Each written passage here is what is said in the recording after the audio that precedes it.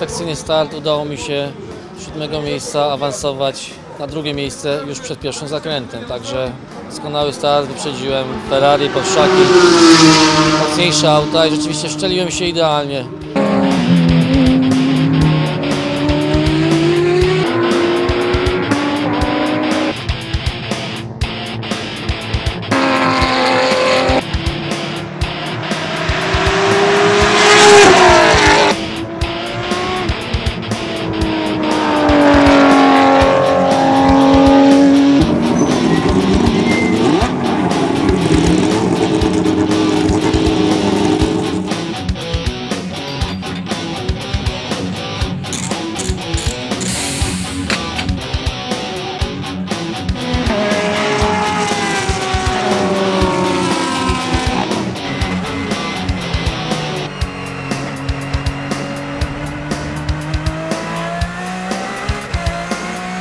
Będzie na pewno ostra walka.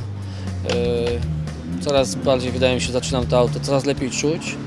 Zdecydowanie pozwalam sobie na więcej, na późniejsze hamowania, na szybkie wyjście, szybsze wyjścia z zakrętu.